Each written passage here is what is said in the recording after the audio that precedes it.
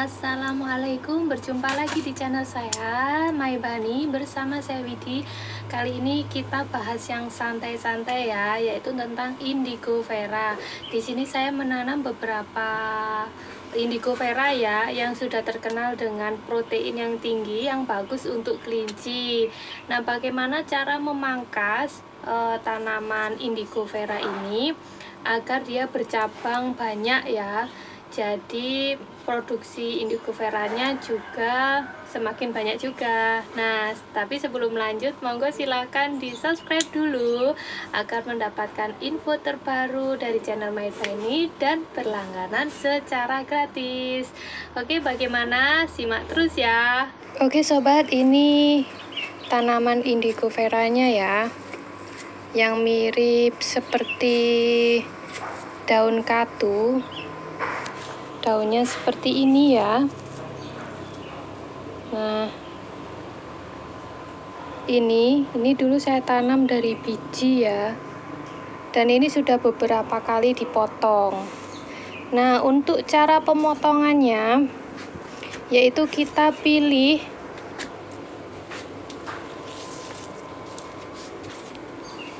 seperti ini ya contohnya. Nah ini kan dulu pernah saya potong. Nah ini bercabang banyak ya. Nanti kalau kita potong kita pilih yang dahannya seperti ini dan memiliki cabang yang banyak. Nanti kita potong di sini. Kita potong di sini. Nah ini nanti yang ini nanti bercabang lagi panjang begini ya sobat.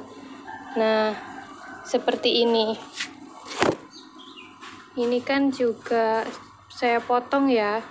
Nah ini ya panjang-panjang begini nanti sobat.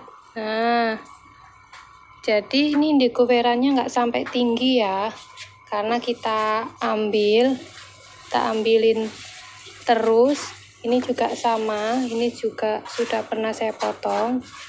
Nah seperti ini. Nanti kita potong ini di sini. Nah, di sini. Karena di sini kan ada seperti ada e, cabang baru ya. Nah, di sini. Kayak gini. Kita pindah lagi ke tanaman depan ya. Oke, di sini ya sobat. Ini juga saya tanamin indigo vera depan rumah.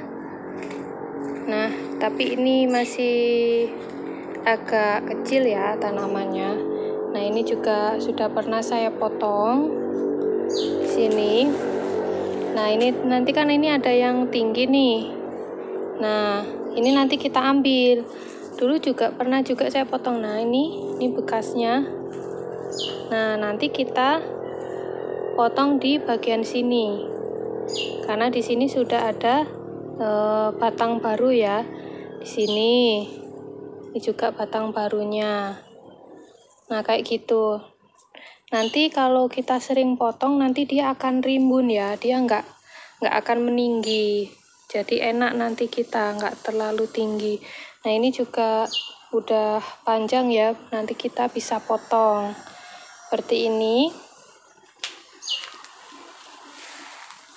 Nah seperti ini ya. Yuk kita mulai potong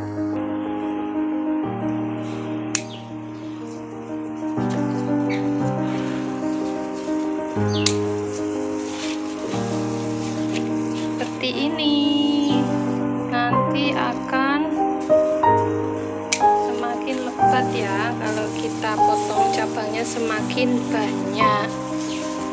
Yang penting kita tahu aja cara memotongnya ya sobat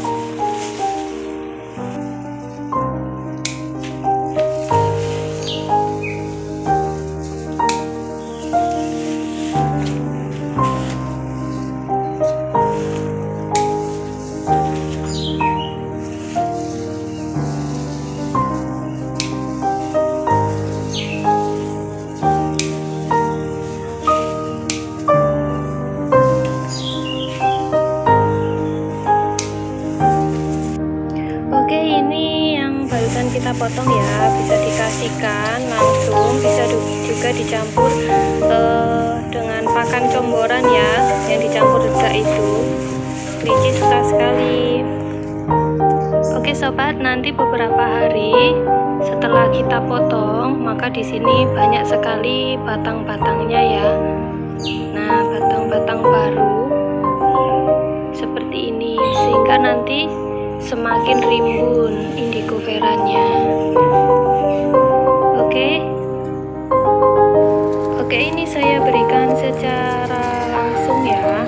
Karena kandungan air di indigo vera sedikit maka diberikan secara langsung aman ya sobat. Ini dimakan indukan dan juga beberapa anakannya ya. Anakannya juga menyukai indigo vera ini. Bisa kita lihat dia lahap sekali makannya. Nah seperti ini kelincinya suka sekali. Indigo, indigo vera sangat potensial dikembangkan sebagai sumber bahan pakan ternak di masa depan dengan kandungan protein yang tinggi sekitar 26 sampai 31 persen disertai kandungan serat yang relatif rendah Tanaman ini sangat baik sebagai sumber hijauan, baik sebagai pakan dasar maupun sebagai pakan suplemen sumber protein dan energi. Terlebih untuk ternak dalam status produksi tinggi atau laktasi ya. Nah, di sini saya berikan pakan comboran juga dari daun indigo vera.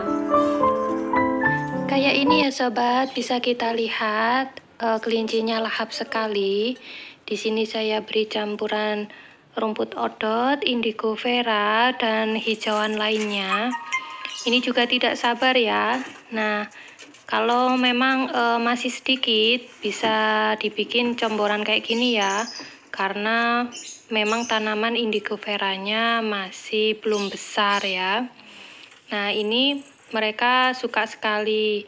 Oke semoga videonya bermanfaat ya sobat. Silahkan di share subscribe. Terima kasih. Sampai jumpa. Dadah